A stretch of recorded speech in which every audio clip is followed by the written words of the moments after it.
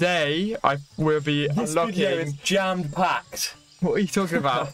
we'll be unlocking Shooter Roadrunner, which marks the end, as I just said, of the Toon Squad. One of my biggest fears, and if anyone knows the answer to this, please drop it in the comments. I've had many sleepless nights over it.